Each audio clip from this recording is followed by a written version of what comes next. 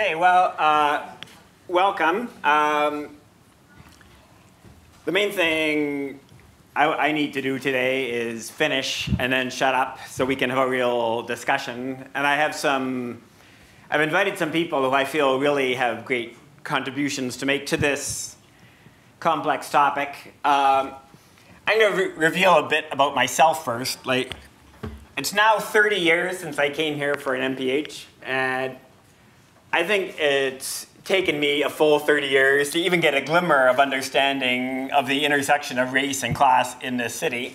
And I consider myself fairly intelligent, but it is so complex, and there's little historical tidbits that you really need to know. For, the, for example, the fact that Johns Hopkins Hospital was a white-only hospital, and if you're non-white and you had gone there in the 1950s, they would have referred you to Franklin Square Hospital.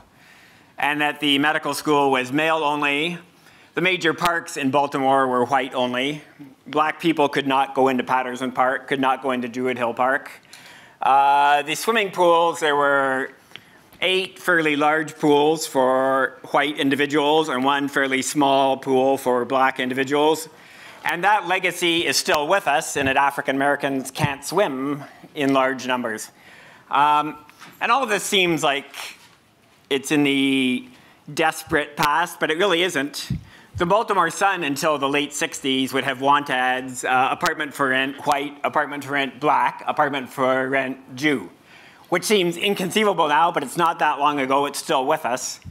Um, so the reason we're having this session at all is first the problems facing Baltimore are immediate, they're compelling, and we can't pretend to be global health practitioners and not be thinking about Baltimore and what we owe Baltimore and how we need to work with Baltimore to get it out of its current um, difficult situation.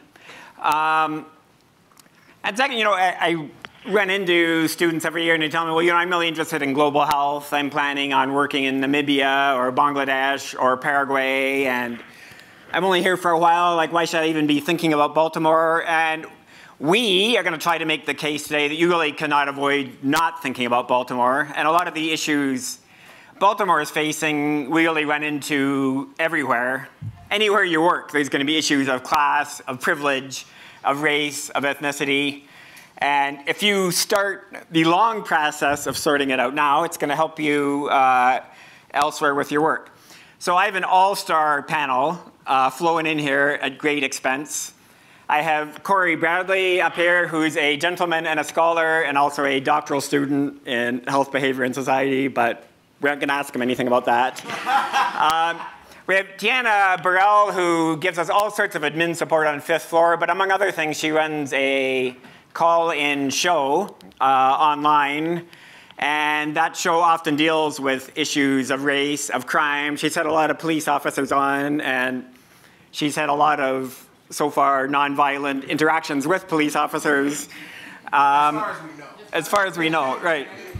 Uh, and then uh, it's my privilege to introduce Haneefa Saleem, who is new but not new to here. Um, she was born and raised in Washington, D.C. at the height of the war on drugs. Uh, she first came to Baltimore as a freshman, undergrad, Johns Hopkins. Then she came, she left, she came back, did her master's, left, came back, did her doctorate, left, came back, and now she's an assistant professor. And she brings uh, a lot of other angles to the conversation. I look forward to hearing from her. Finally, uh, Sarah Murray, who's on mute right now uh, because there's little kids in the home. Um, but we'll be bringing her on later. She was born and grew up in Charlottesville, and she's going to share some secrets of Charlottesville that you might not have heard on CNN um, a bit later. So um, I'm going to give some background on recent events in Baltimore, we're going to have a discussion. Depending on the discussion goes, we may listen to a clip from Marisela Gomez, or we may just keep discussing. And then I'm going to finish by talking about some resources. So there's been a lot of events um, recently.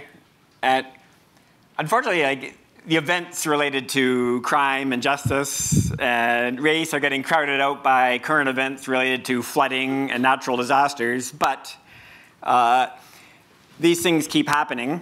Um, there's a historic legacy of racism and oppression, which is really the foundation of these events. There's uh, problems of police community relations, uh, problems of accountability, and then disparities across many domains. And I'm going to show a few slides about disparities in a minute.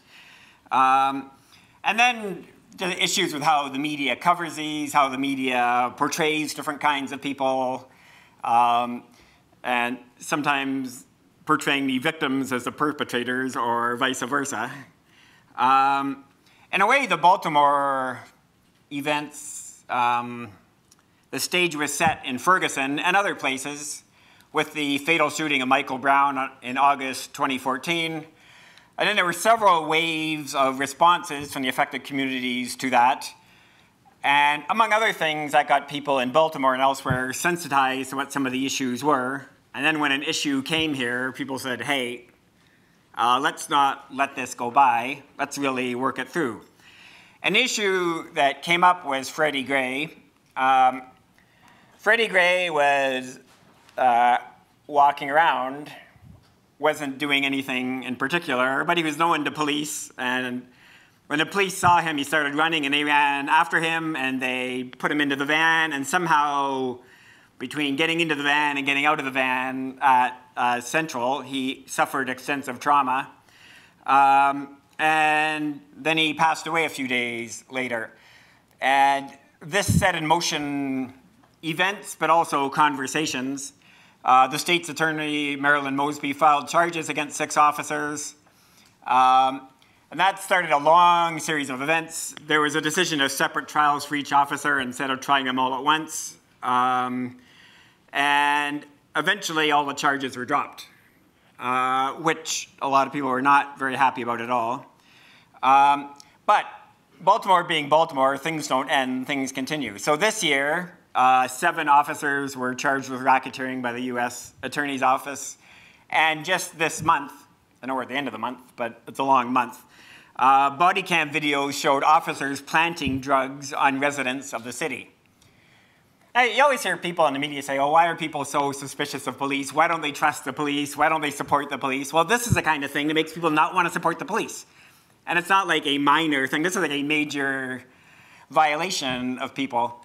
Um, so there was a response, and although the temperature seems low here in the building now, if you were here in the spring of 2015, stu- uh, you know, some days we'd have classes and half the students would be gone because they'd be downtown protesting. There was a real atmosphere that we got to do something now. And as always, there were positive things and negative things. Uh, and surprisingly, perhaps the negative things got featured in the media and the positive things not that much. There was a lot of community building and mobilization, meetings being held in church basements, in mosques, in community centers, um, efforts to establish lines of communication with police that had never been there before, bringing different groups together, cleanup efforts. Uh, none of that got so much into the media. What got into the media is there was some burning of stores and police cars, some looting, and there was a new home for seniors just up the street here that got burned down. It's been rebuilt now, but um, that kind of thing, you know, it's playing endlessly on the TV. And look at these people, they're even burning their own senior centers. Um, and a lot of discussion about who's really responsible here for all of that. Um, so this is what Baltimore looked like in the spring of 2015. There were almost continuous protests at City Hall. Um, some days, hundreds of people, but on a few days, thousands of people. Um, how did the authorities respond? Well, a mix as usual. A lot of trying to help people, like making sure people had their prescriptions refilled, mental health crisis line, group counseling. But also, there was a state of emergency. A curfew was imposed. So, um, I remember one day, you know, the curfew was imposed, but like all faculty, I came into work anyway, and uh, I saw a tank on Broadway, and I thought, wow, like, that's something. Um, this is what the Inner Harbor looked like. There were police with all the riot gear on. Um, so um, the mayor, the previous mayor, asked the U.S. Department of Justice under the previous administration uh, to look at it. And they interviewed people, talked to people in the community, talked to police, and they wrote a report, and the link is there. And i am happy to send out my presentation so you can follow up on these links. And um, criticized long-standing discriminatory practices by Baltimore police. Um, as a result of that, and after a lot of negotiation, the City of Baltimore and the Department of Justice entered into a consent decree. And a consent decree means you're going to make changes, and it's not like if you're in the mood, if you feel like it, like you have to make these changes. And people who are worried about the police and their behavior like consent decrees because then what the, police, the changes the police make are followed and monitored. Um, but this consent decree and all the work that went into creating it is now under threat because Jeffrey Beauregard Sessions isn't sure that we need to be so tough on the police. We need to support the police from his perspective, um, which is, and the president uh, generally supports that position, which is really disappointing. Um, homicides, what can I tell you about homicides? There's a lot. They've been going up since, and they're on track to be above 300. Um, if you want to know what's happening and who's getting killed, I mean, it's largely young black men. Uh, if you take EPI or biostats, you'll know denominators are important. So if you look at a denominator, the whole population of Baltimore, homicides are high. But if you shrink the denominator to be the mostly young black men who are at risk, uh, it's a death rate higher than a lot of war zones. Like it is the experiences of people, and like mo most people in the most affected neighborhoods know somebody who's been murdered, and not just somebody who's been murdered at some point in the past, but probably recently. Um, so we have this homicide thing, but we also have a critical shortage of police officers, and we'll have some comments on that in a minute. Um, at Baltimore communities, uh, are being tossed back and forth. There was a real feeling we got to control the police, but now they're thinking, you know, there's no police here. Why don't you guys come back? Um, a lot of concern about gentrification. Um, Washington, D.C. is leading the way in gentrification. You know, you go, there's a rundown neighborhood one year, you go the next year, and there's fancy condos, but Baltimore is trying to catch up. Um, and you can see that if you go that way, but you can also see it in Remington and Canton. Um, and at the same time, uh, the low-income neighborhoods are saying, well, can't we just work together and sort this out?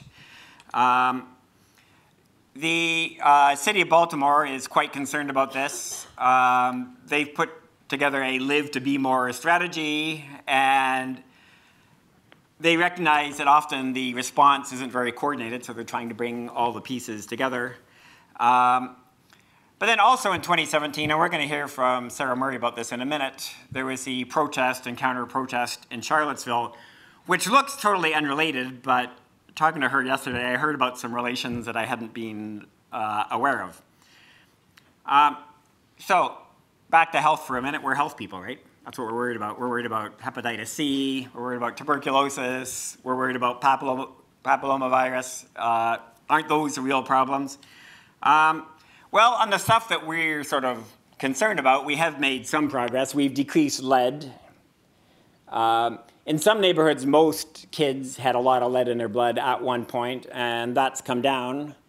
Um, we've had a reduction in heroin overdoses teen pregnancies have been dropping fairly uh, consistently. Lower infant mortality, uh, expansion healthcare coverage, maternal to child transmission of HIV, which once was pretty substantial here, is really quite limited or non-existent now. So we've made a lot of progress. Um, but the homicide rate is increasing. Violence against sexual min minorities remains a huge problem. Care for mental illness often isn't there. Um, chronic diseases, obesity, diabetes, and then criminal justice, which you could think of as a justice problem, but it's also really a health problem. The health of prisoners is not good, um, either their mental health or their physical health, and affordable housing. And I'm just going to show you this slide, but this slide could be a full year course. Uh, what redlining is, where the real estate agents got together and say, we aren't going to give any mortgages in these neighborhoods. Um, lead poisoning, troubled schools. We could have a whole course on the school system in Baltimore, which has been desegregated, except they forgot to desegregate it when they were desegregating it. And most kids in Baltimore are in classrooms that are all black or mostly white and not that much uh, in between. Um, so, uh, JHU was working very hard on a response in 2015, and there's still energy behind that, although there was a real peak of energy in 2015. We had a day of reflection. Uh, actually, we had several reflection events, and you can go to this site and you can listen to some of the talks, and there's some phenomenal talks that really bring together the different pieces in a compelling way that I can't do. Um, and then student initiatives. Uh, reinvigorating Spark, working social justice into the curriculum, and also, most recently, there's an anti-oppression series called Lead. Now, I've been talking about lead poisoning, and so does this have to do with lead poisoning? No, it has to do with liberation, eradication, activation, dismantling. Um, and it's being supported by a diversity innovation grant. And so if you want to think through how, what you might be doing, uh, this is a good place to start. Um, we also have a, a, collaborative for violence reduction, building on the long-term efforts um, uh, on gun policy and violence reduction, and that could also be a whole lecture.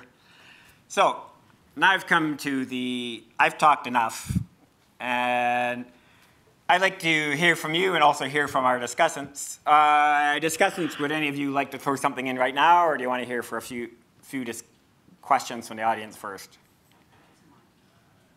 Okay, so um, if we're unable to get you to talk, then uh, they're going to try to incite you. But let's start with some questions from the audience. So we have a microphone here and a microphone over there. Um, any question is welcome, including, so like, what are we supposed to be doing? Or uh, any reactions you have, any personal experiences you've had with these issues. Like, we really welcome, or, or just saying what, what's on your mind. Uh, and also keeping in mind that with everything happening in Houston, it can be hard to focus on, oh, I should have introduced you. Yep. Okay. I'm just wondering, uh, since the into, and you mentioned the recent findings with regard to officers planning drugs mm-hmm. on individuals and things like that. What's what's kind of the impact of that consent decree, or what do you see as next steps, or do you, do you view it as effective? Do either of you want to?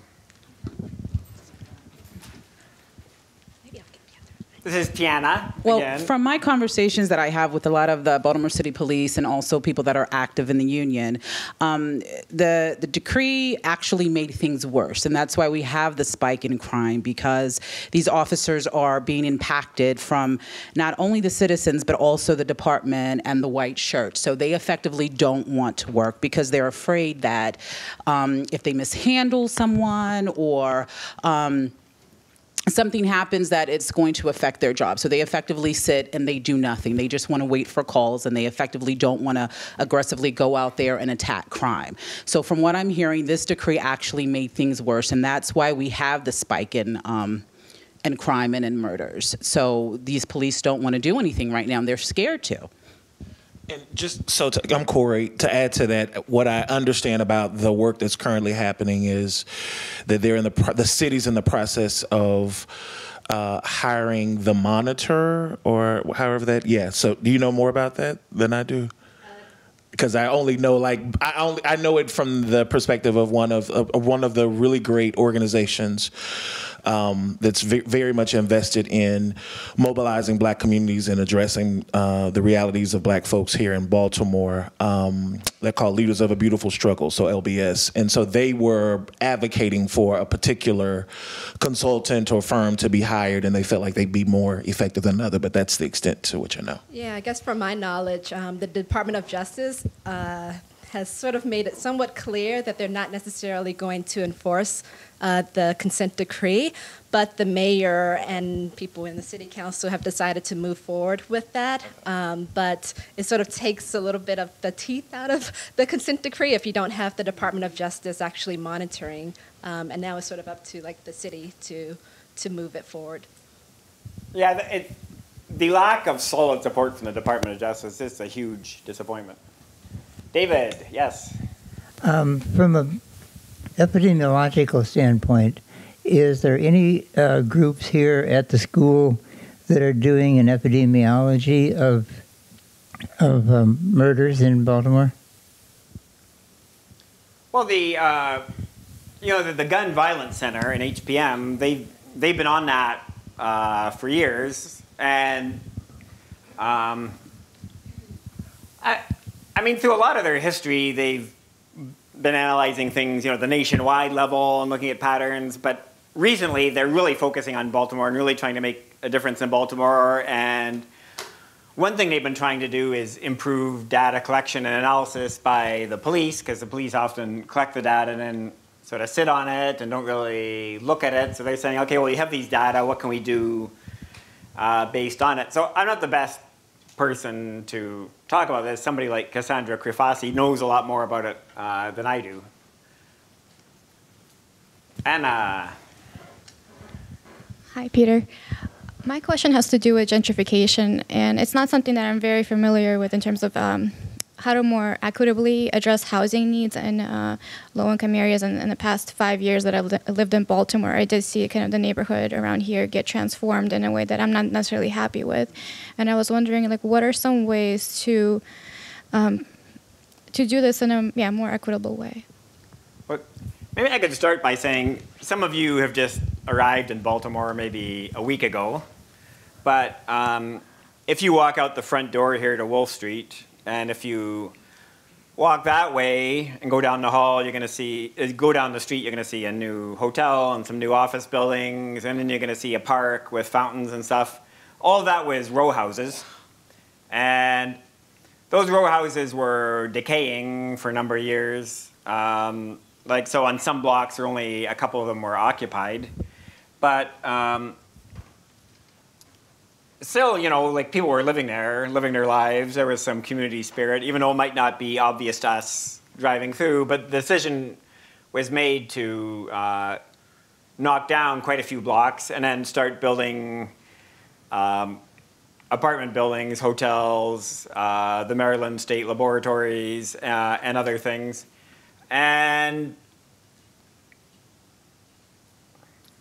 well, it's re- it's really creates mixed feelings in the community. I mean, a lot of a lot of community members feel Hopkins is really violating them, and it's a land grab, and you know they sort of feel like the uh, Sioux or the Apache or the Cherokee or anybody else felt like when um, Feel.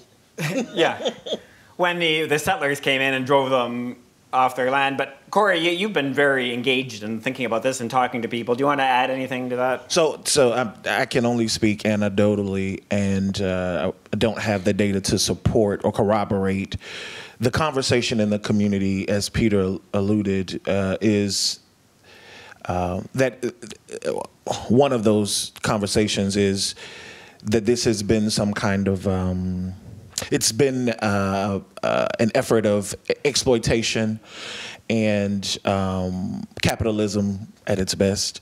Uh, that people have owned land and houses and sat on them uh, and let them fall into disrepair, hoping that it contributes to uh, the decay of the overall community, and then they buy up more of those homes and then can sell them to top uh, for top dollar to places like Hopkins and all of the friends of uh, our city uh, who finance so much. So there's that idea, um, and I would move a little further in this concept of housing. I think that, and you may already have it, thinking of housing not just as the place where a person lays down, cooks their meals, right? But this is this is community. This is solidarity. This is belonging.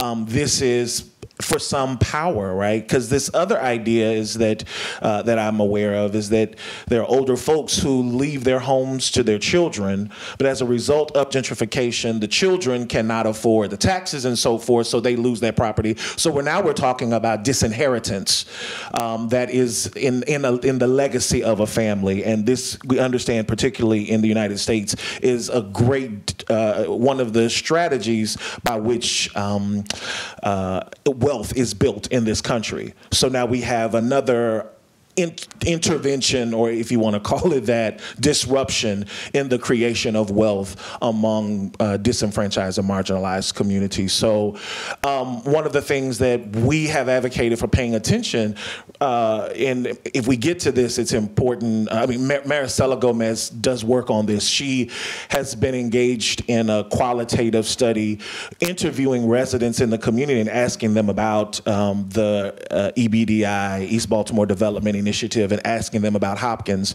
Some of the things that they have said, uh, you know, Hopkins is an octopus. Its tentacles reach out and they just take whatever they want. like they if we want. don't get a chance to listen to it, I the the link is here, and uh, it's worth yeah. it's worth listening to the whole thing. It's really quite good. So really important to understand, um, you know, that we and she talks a little bit about how we're implicated in this as well, right? Because we as students chose Hopkins because Hopkins is and offers the resources that it does, without a full awareness of how that has. Uh, unintended and perhaps intended negative benefits for the folks who we sh- we share this community with. So um, I, I think to your point, I think we're, if we're going to think about housing, we're going to think about affordable housing. I think there are a couple of initiatives through EBDI to offer housing to staff at some kind of kind of discounted rate. But again, this is not a preservation of the community; it's a reorientation uh, of the community and uh, folks who are continually being pushed out. So uh, th- that's kind of my, you know, what I would add about uh, this idea. And I think it's an important thing for us to grapple with. When is it making life better, and when is it making life better for only a few people? I'm, di- I'm dying to jump in and say something about bicycles, right? We, we, all, we, we all like bicycles, bicycles, we do greenhouse gas emissions and all sorts of other things. There's been real pushback in some communities about construction of bicycle lanes because, well, people like us think, oh, bikes are nice and we're going to exercise and we're going to lose weight and all that. Like, th- th- they say, well, this is the first step to gentrification, right? Like, first you build a bike lane, then you're going to start fixing up the houses, and the rents are going to go up, and then we're going to be out, right? So they don't see a bicycle lane as some neutral, cute kind of thing. They, they see it like this is the start of the invasion, this bicycle lane. Um, and And in fact, let me just add. I see your hand. The have you all heard of the the white L and the black butterfly? Have you heard of this concept? So that the communities. I, uh, does somebody know how to say this really well? Because I'm going to fumble at it. Anybody want to give it a try? Okay, so I'll. I Mindy, can you do it? All right, I want to try. So I mean, I think I understand it as the the way that our city is kind of racially segregated, so that folks are living. Uh, the L goes kind of through Baltimore City in this in this L shape, and then the Black Butterfly are the communities that are around the L.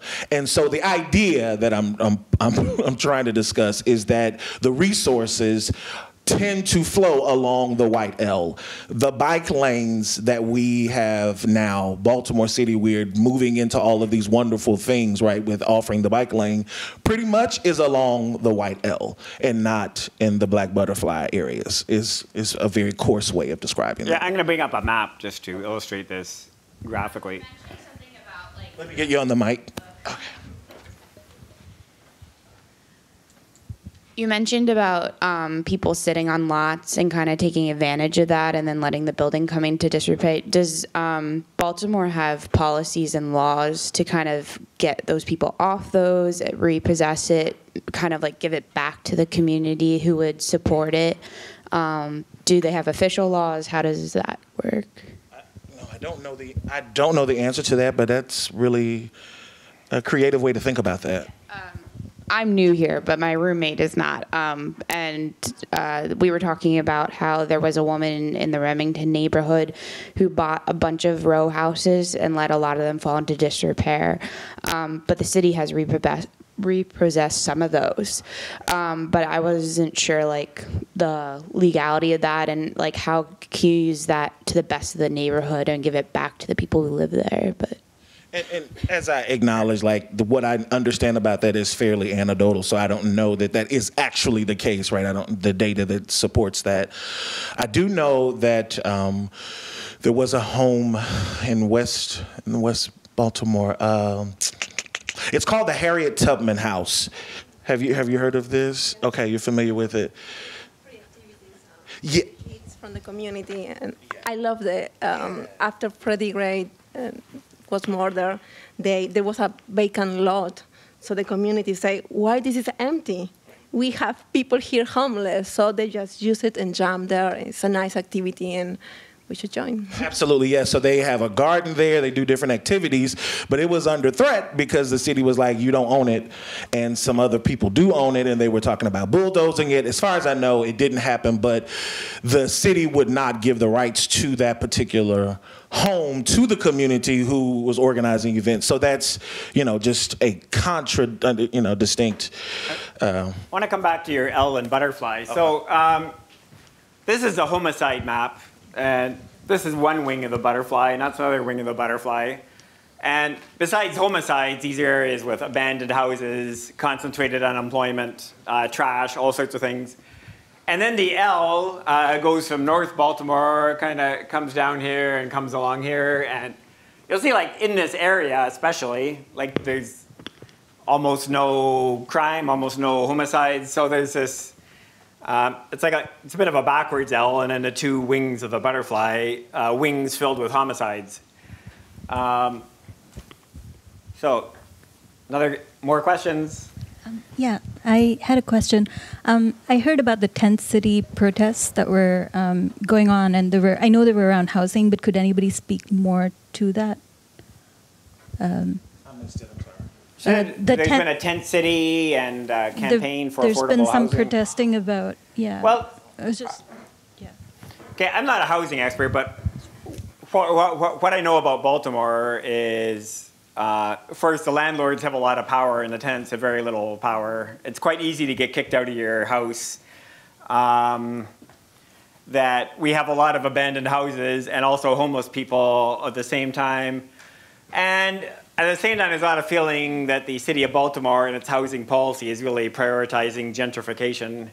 And the reason they're doing that is to bring in more tax revenue because municipalities in this country survive on property taxes. And if you can't, you know, so- when they want to bring in middle and upper class people, the city, um, part of it, I, ironically, is out of concern for the poor because they feel if they don't have the richer people paying taxes, they aren't going to have money to provide services for the poor. So you, you, you get into a weird dynamic where you have to step on the poor in order to help them, which seems like totally twisted, but that's kind of how things happen in uh, low income uh, municipalities in this country. Like, if they don't gentrify, they have no revenue to help people at all, but if they do gentrify, they're constantly stepping on people. Nino, how are you?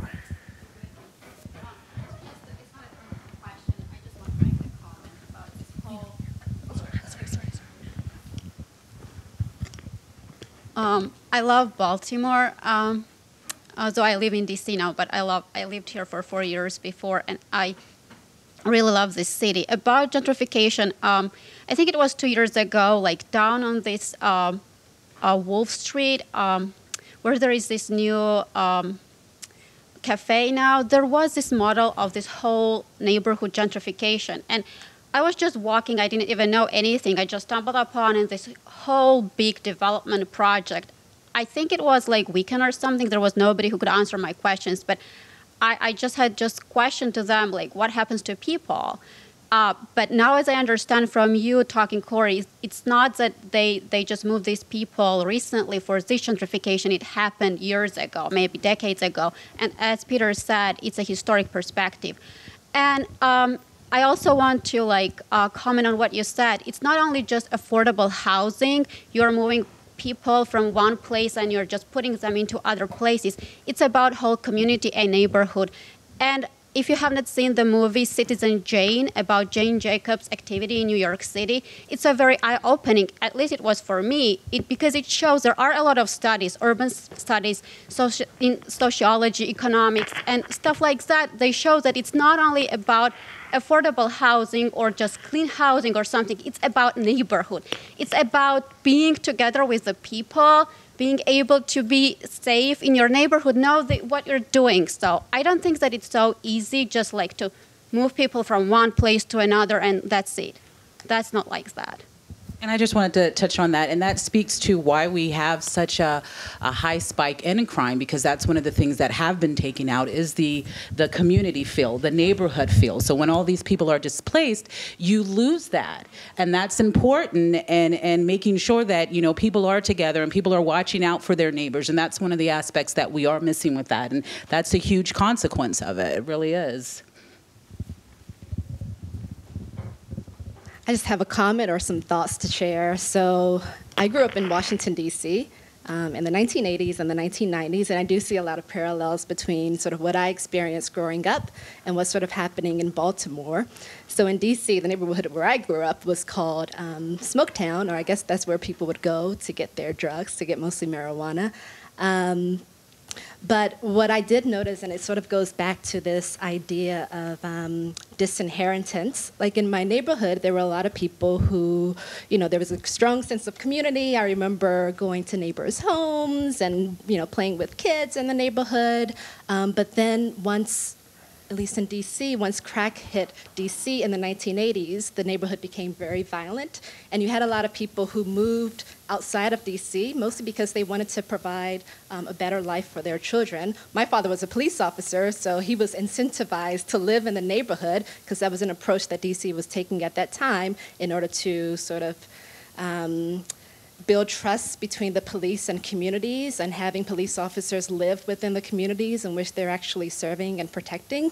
Um, so we stayed in the neighborhood, but a lot of people did move out in order to, to for different, you know, for different school districts and it was just a sense of decay within the neighborhood and more recently, you know, that sort of it stayed that way for about two decades. And then more recently, people started to buy up these homes um, and develop the area. And now the development is more focused on people who they want to attract into the area. Um, and it's pricing out a lot of people. And it goes back to what Cory was saying. There are a lot of people who owned the homes, and it was a common practice to just sort of pass the house down to your children or your grandchildren. But with um, the increase in development in the area, you know, it's, there's a Whole Foods there now, so it's very expensive to actually um, pay for the property taxes. Um, and so that sort of pushes people out of the neighborhood as well. But it is like this, this cycle. And I've been at the hands of like, you know, being from a neighborhood that has been gentrified, but then now living in Baltimore, I'm actually contributing to gentrification because I live in Hampden, and Hampden was a white working class neighborhood, and the same thing is happening within within Hampden. Um, the, the faces have sort of changed, and the location is different, but it's the same system. And I don't really know how do you sort of um, develop without um, pushing people out. I think we have to really like address that issue. Like, how can we develop for um, the entire city and not necessarily for people who we want to be in the city. So, something else I want to mention is we often are focused on urban areas, and some people think, well, black people have always lived in cities, but um, Maryland historically had African American communities all over the state, from one side to the other, because somebody was doing the agricultural labor, and it wasn't the owners of the plantations. So, um, you know, part of white flight in the 50s and 60s, it was not only whites leaving the city, but it was also black people being pushed out of the rural areas. So, like, if you go to Towson, West Towson was white and East Towson was black, but East Towson became Towson Town Center and all sorts of other office buildings. Cross Keys Center, Cross Keys Mall, great place. It was a traditional African American neighborhood a lot of the malls in Maryland are built on traditional African American neighborhoods. And I think from the point of view of the suburban counties, it solves two problems at once, right? One is you have economic development, and second, you get out of get rid of people with different skin colors who might bring down property prices. So, like we have the gentrification problem here, but also we've had a lot of rural African American communities decimated, pushed out. And one other community I would mention, like when you go along Center Street and then you see St. Paul splits, and there's a nice little park there. That was originally a slum uh, community of African Americans, and then the Baltimore mayor at some point decided that it was giving the city a bad image, so they bulldozed that and they built a park and there's flowers. So, you know, a lot of history, you know, we talk about people being moved out, so it destroys community but also destroys history because now if you look at that park and you see tulips and things, and you couldn't ever imagine there were ever African Americans there, but there were. Uh, if you go to Towson Town Center, you don't see any evidence of the rich history of the African American community there in the past. All you see is uh, stores and the iPhone store and everything. But you know, people were there, but now they're like gone. There's no even trace of their history. So um, it's a big process. I'd like to bring in Sarah Murray now. And Sarah, are you still with us? I sure am. Okay, so I'm going to introduce Sarah briefly. Uh, Sarah did her MSPH with in social and behavioral interventions, and then she abandoned us because she got very interested in mental health and did her PhD in mental health. And now soon she's going to be starting as an assistant professor in mental health. But um, I'm asking her to talk today because she grew up in Charlottesville, and I'm hoping she could shed some light on events in Charlottesville beyond what we hear on CNN and Fox News. So take it away, Sarah, and say whatever you want. And sure, I am still in many ways kind of formulating how I feel and what I think about what happened, you know, since the middle of August in Charlottesville. Um, but yeah, like Peter said, I, I grew up in Charlottesville, um, born to my, my father who was born in Charlottesville. So we're um, in a city that's grown a lot, uh, you know, kind of have deep roots in the area. Um, it's been kind of bizarre to have Charlottesville be the focus um, of kind of national conversation. Um, so I guess I can say first what I think the reaction of a lot of people I know in Charlottesville is, which is that I think in many ways it feels like what happened was kind of an invasion from the outside, um, which you know isn't untrue. Certainly, lots of um, the kind of neo-Nazi groups and the KKK that came in, a, a lot of that was from the outside. Um, and there's a lot of conversation now in Charlottesville happening where this idea, like that this was an, this an invasion and that this doesn't represent Charlottesville and this doesn't represent its people. And Charlottesville is a relatively liberal, progressive enclave within Central Virginia.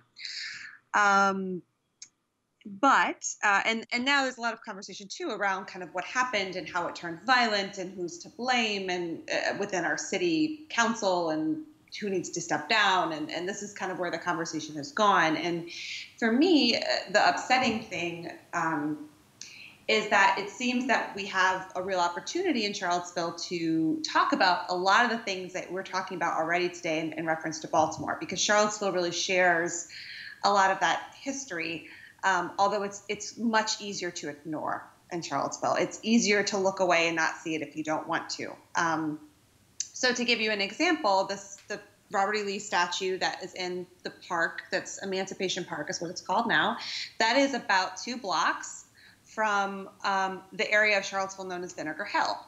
And Vinegar Hill is not something that you would know about, other than that there was a theater named Vinegar Hill where you could see really cool indie movies.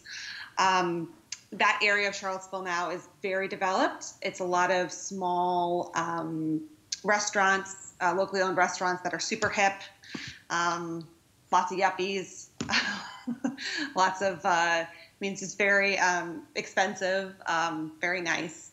Uh, Vinegar Hill was, until the 1960s, a thriving black community full of black owned businesses and black owned homes.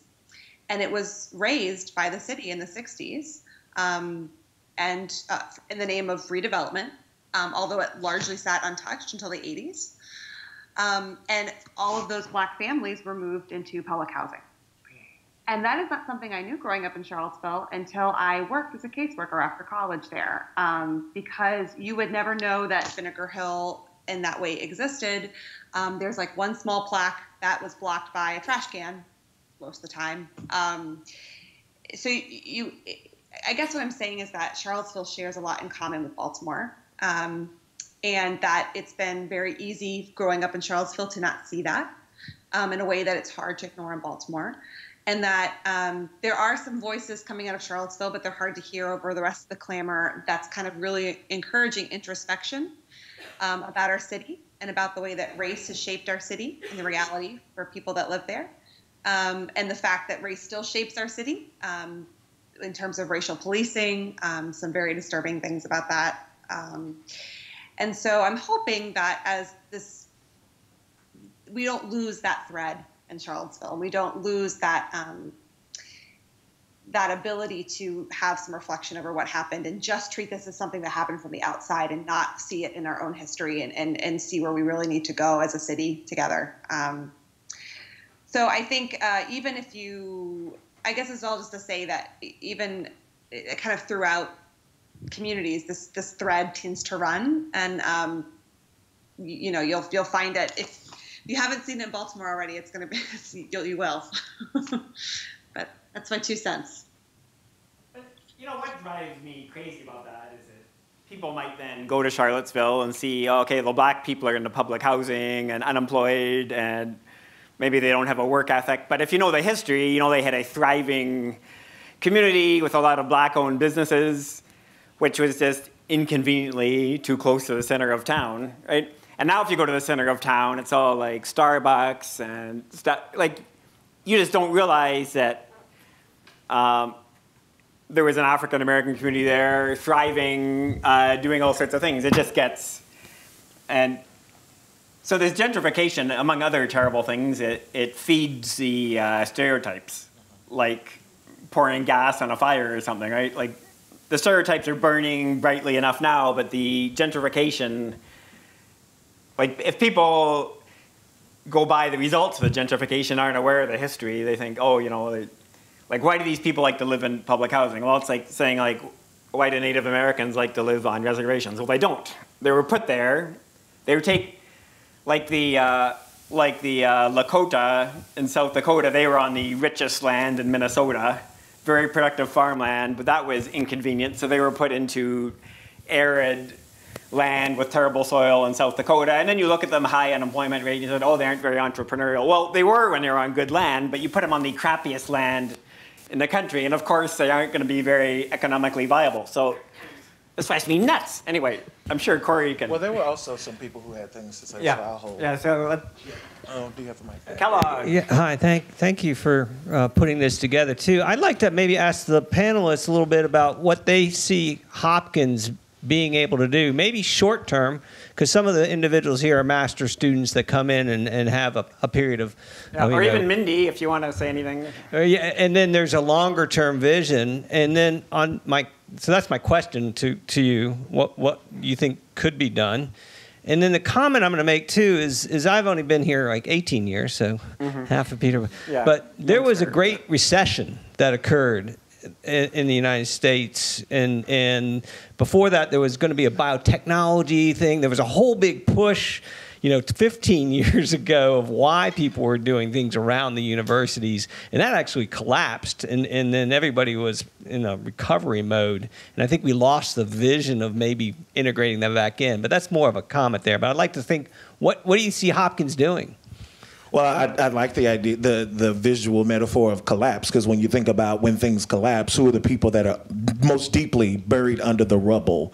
And I think that our inattentiveness to the folks who are most affected by when our stuff falls, who is it falling on ultimately? I don't think we've done enough of that, and that connects me to what I think about uh, Hopkins' role and and the work that Spark does, the perspective that Spark has, and even I'm interested in hearing more from students uh, and my co- you as my colleagues about how this even matters to you, um, especially if you're even not even uh, a resident of the U.S. or um, you've immigrated to uh, to to the states for school or whatever the case is, or you have your family in that way uh, has done so. Um, I think that uh, uh, so Sarah reminded me of a couple of ideas. One of them is that we should remember. Um, I, have just this week I've driven in my neighborhood in Reservoir Hills um, by two police scenes with police tape, and instead of it actually invoking a great deal of fear in me, it, it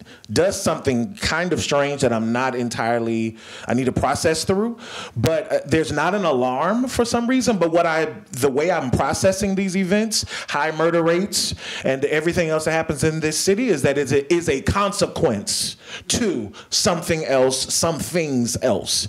And so when I encounter situations or hear about what's happening, even when you get those rave alerts, right?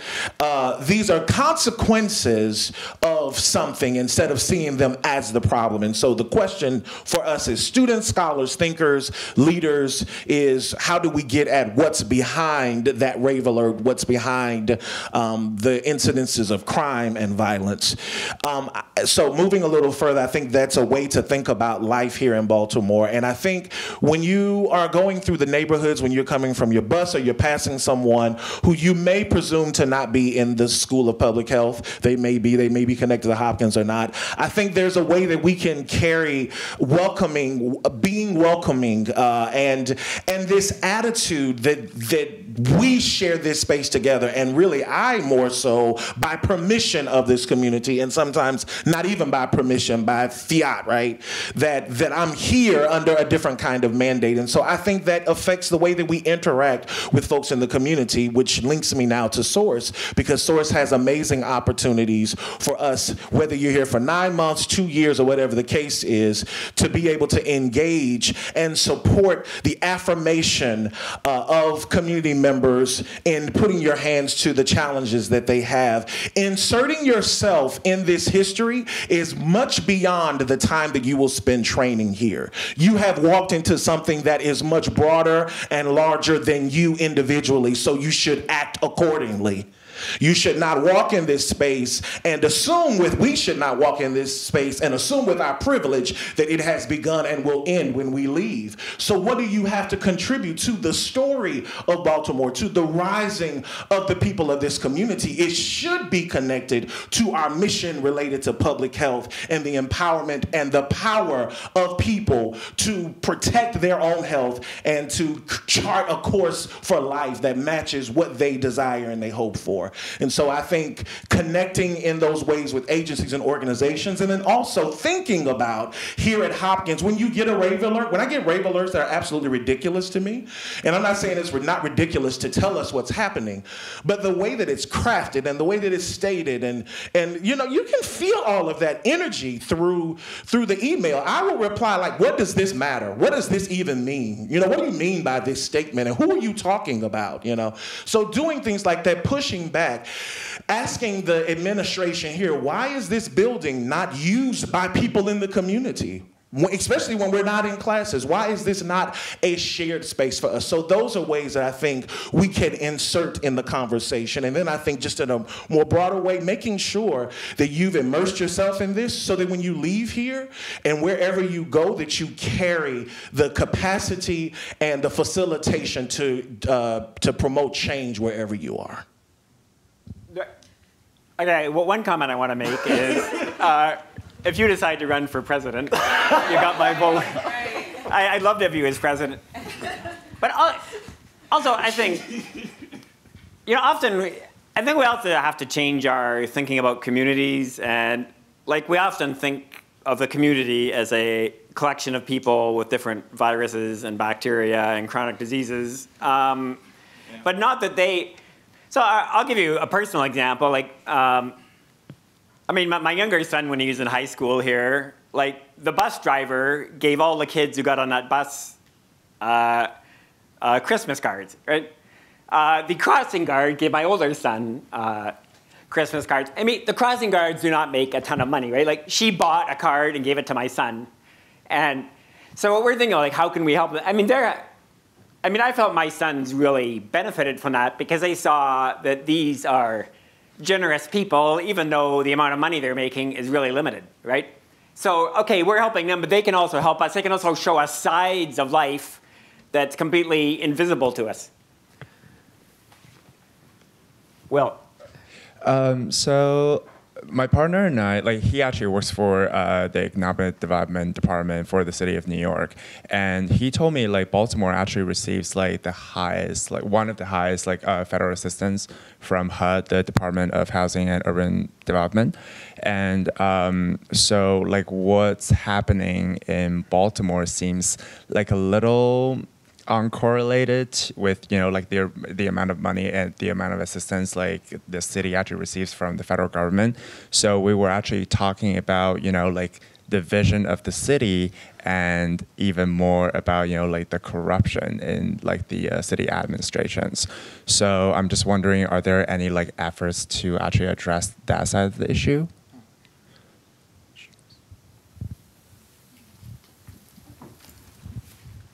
I don't know about efforts that are going on, but the corruption runs deep from education, from the Department of Housing, from the police department, from our politicians, and that is one of the issues that Baltimore faces is the corruption um, from our politicians, especially with our incoming mayor um, and the crime plan. She didn't really have an effective crime plan. One of the main things that she proposed was free college for um, Baltimore City residents. But how good is that if kids aren't making it to college age, if they're getting killed before they make it to college, if they're being arrested before they make it to college? And to me, that seems like it's more of a a way to get more tax dollars from people to come into the city. So that's another way to kind of push people out because if you're offering free college, you know, it's not going to benefit the poor black kids who aren't making it to college. Who is it going to benefit? You know, so that's a way for I'm thinking for her to get more tax dollars into the city. So again, corruption is huge, and that's one thing that needs to be addressed is our corruption within Baltimore City, and that's one of the issues why we can't even um, obtain and police officers. There are 700 police officers that have left. There are 60 more that are going to be leaving within the next couple of months because they feel that the corruption in the Baltimore City Police Department is rampant. You can recruit all the amazing, good-hearted police officers you can, but as soon as you put them in a corrupt police force, it's not going to make a difference. But where's the accountability? Even with the, the school and the money, because Baltimore, what Maryland has some of the highest. Um, they get some of the most money for per students, but the schools are in disarray. So where's the money? Where's the accountability? There's no accountability in Baltimore City. None. And, and I think that that's a really important insight, uh, speaking to this issue of the consequence, like what we see as a consequence of that these are the issues of the dynamics of power, and that's why I also see Hopkins contributing once again. We and we as public health professionals, right? We call it agency or whatever we call it. We really need to be shifting the balances of power uh, in in multiple realms and regions because ultimately I think that that impacts how people protect their health and how they live out their health journey.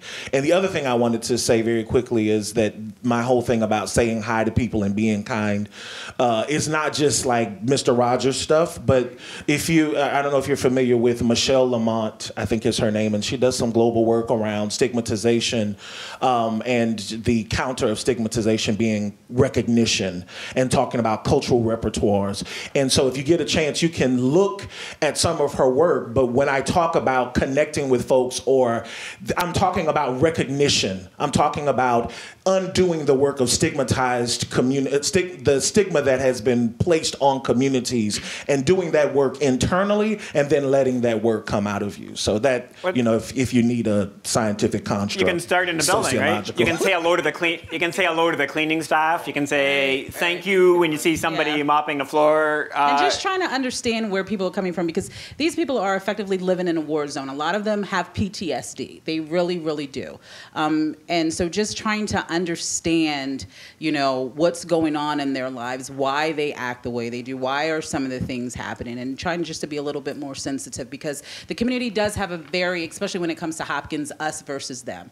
Um, the mistrust between Hopkins and the community has gone from generations, even with medical exper- experiments. They don't trust the people in Hopkins. So it's important with us being here and then us being in our bubble that we do recognize that there's this other, these that they do exist and they're like you said they're extremely important it's uh, we're intruding on their space you know so we just definitely need to be sensitive and try to understand and understand that like i said that they, a lot of them are suffering with severe issues and you know it, it's hard so yeah we just have to have Okay. personal Um, responsibility If you want a copy of the presentation and you haven't given me your email yet, um, anybody wanted to sign this, but has, and then Nina over there was waving her hand and. Uh, okay, gentleman in the back. Yes. Um, my comments kind of go directly to what, what was just being stated because I am just a regular resident of Baltimore City. I live a mile down the street. Um, I graduated from Bowie State University.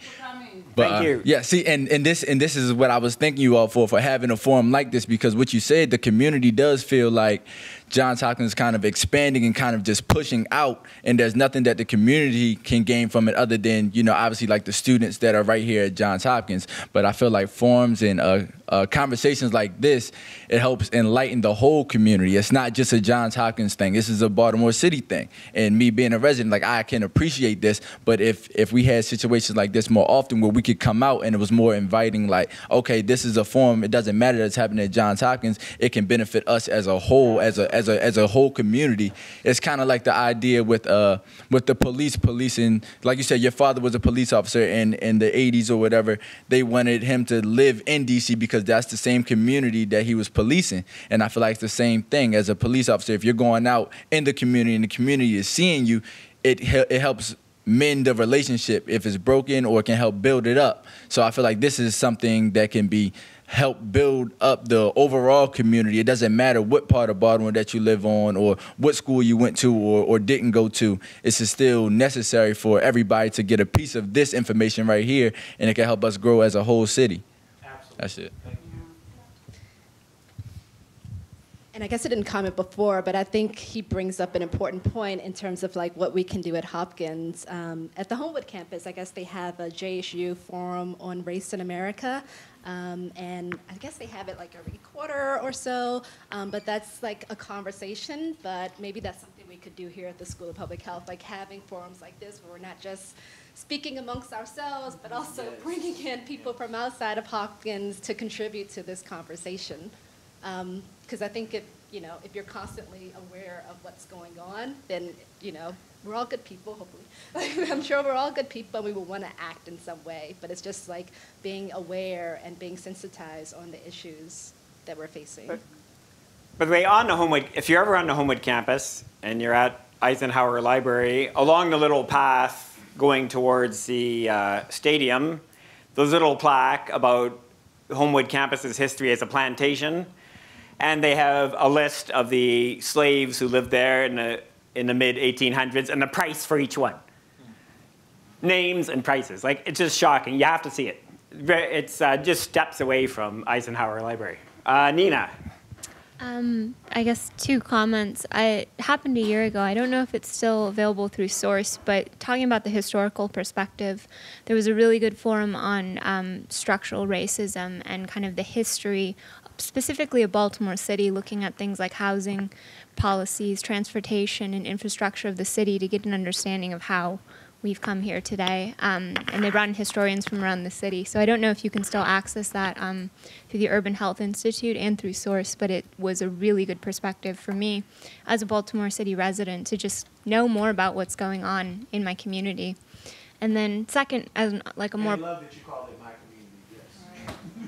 and second, on like a more personal note, being a student here and then transitioning to living here and choosing to continue to stay, one of the best things I found is to actually get engaged in a program outside of Hopkins because there's so much rich stuff going on that can put you out into the community and out into you know a different world and a different way of life. So. Um, I did Back on My Feet. If you're a runner, that's a great program because it brought you through areas that I probably wouldn't walk through down North Avenue by myself. But you know, running with a group of people at 5:30 in the morning, you wave hi to people who are taking the bus to work. Um, you get to see a different neighborhood, And then Circle Voices is another great organization that's really trying to bring people together from all different spaces to have these conversations, like this forum um, and beyond. And so, thinking of ways we could partner with those groups as Hopkins and then also just as people in Baltimore City would be cool to think about. So, um, Can I jump in, Peter? Um, so you, you asked a great question about some of those resources wait, of right uh, timing. did you introduce yourself? Uh, this is a no, I very didn't. important person. Oh, please. Uh, we're all important people. I'm Mindi Levin. I'm the founder and director of SOURCE, which is the Community Engagement and Service Learning Center, not only for public health, but also for nursing and medicine for all three of the Hopkins Health Professional Schools. Um, Cory, thank you for recognizing the work that we do. He also serves on our student governing board. And some of the resources that you mentioned, um, every year we have events throughout the year to bring in our community partners and community leaders to help educate all of us about what's happening in our communities. Um, you know, we like to often say, from the community's perspective, we don't really want to talk about the community without the community being with us. So, nothing about us without us, right? So, we bring them in to be our educators and our teachers and hope to have a reciprocal relationship. And so, a lot of the events that you mentioned, um, the first week of October every year, we put together what we call Baltimore Week. And we have a lot of those videos from the last from last panelists from the over the years that are all on our website. Um, we have a great lineup for this year's Baltimore Week as well, so you'll you'll be hearing more about that. We also have a small series of online modules to help prepare you to do work in the community. And one of the first modules is the history between Johns Hopkins and East Baltimore. And it's not meant to be a here's a pretty picture, Hopkins is so great. We talk about the good, the bad, the ugly, all of that stuff. And it's not us talking about it, it's community members talking about it and talking about the redevelopment of the EBDI park. Um, I constantly am asking students, particularly the a lot of the med students happen to live in the 929 building. Oh, how many people live in 929? Lots of hands. I'm like, let me tell you about the families that used to live there before they were displaced. And people at 99, I feel like they should probably have some kind of information at that building to talk about that community, right? We're having bringing in a lot of new students that are living there from our three schools. So we have a lot of that information available. And then depending on the time that you have, it doesn't matter if you have a little bit of time, a lot of time, if you want to do something with the community, and I say with the community in collaboration and partnership, there's all kinds of opportunities. We partner with about 100 different nonprofits here in Baltimore City, including Back on My Feet and many of the others that have been mentioned as well. And you can we can connect you. Um, there's internships, practicum, capstone projects, or you just want to tutor a kid. All, everything under the sun that's available, and we're more than happy to sit down and talk about those opportunities as well. So thanks. Thank you. Um, so we're getting close to the end, and soon we're going to be get a new wave of people coming in here for fundamentals of international health. I want to one more question. All right, Peter. Right. Yeah. Stuart. Um, a couple different perspectives. One of the things that um, I noticed, particularly in late April two years ago, and this is partly responsive to I think what um, Kellogg was saying, was that it seemed as though this university finally woke up and realized that they have literally billions of dollars of resources, buildings, etc., all throughout town that was at risk. That was a pretty scary time. There could have been, it seemed like, almost attacks on Hopkins. And the university finally thought, oh, we really ought to improve our relationships with Baltimore communities. And the, you know, the buy local stuff, you know, everything really took off after that with the university trying to make amends for multiple decades of not caring at all, in many cases, about what's going on in town. Another thing is that my understanding, based on a lot of research that my wife has actually done, or reading that she's done, she's an IH professor, um, about the history of the drug scene in Baltimore, is that drug organizations actually targeted Baltimore because of its relatively small police force as opposed to, say, New York.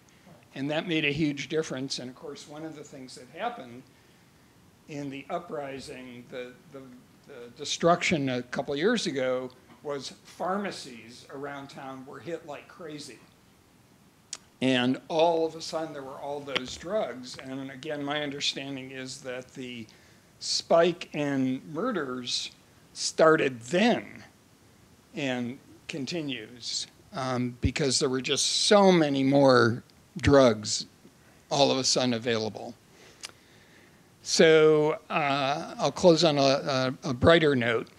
Uh, we've been here 11 years. I think Baltimore is one of the most fascinating, fantastic, uh, interesting, quirky, creative places that I've ever been to.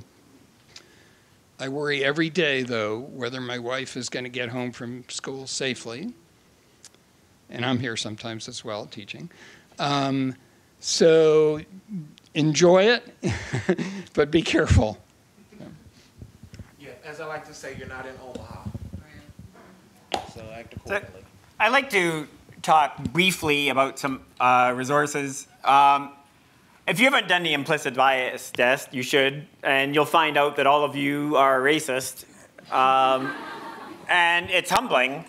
Um, we've been talking a lot about privilege and power. Uh, th- this is one book that uh, a lot of people are reading these days, and you, there you can download the PDF. Um, Frederick Douglass, uh, many of you might have had to read his book in high school, but being high school, you might not have paid attention to it.